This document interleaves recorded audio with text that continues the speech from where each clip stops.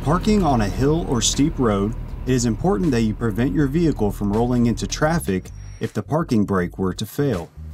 Simply turning your front wheels to the correct position and setting the parking brake can prevent a vehicle from accidentally rolling into traffic.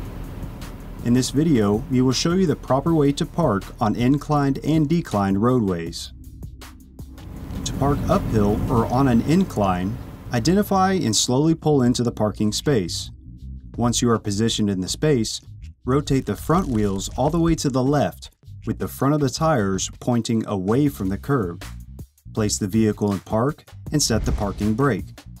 In this position, if the parking brake were to fail, the vehicle would roll back until the front tires are stopped by the curb. Parking on a decline or facing towards the bottom of a hill is a little different.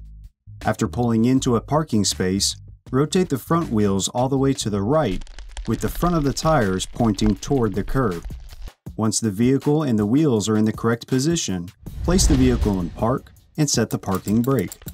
In this position, if the parking brake were to fail, the vehicle would roll forward until the front tires are stopped by the curb.